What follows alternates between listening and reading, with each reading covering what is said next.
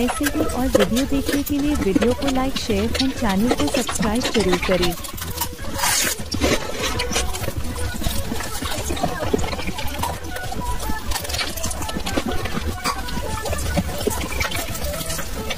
ऐसे ही और वीडियो देखने के लिए वीडियो को लाइक शेयर एंड चैनल को सब्सक्राइब ज़रूर करें।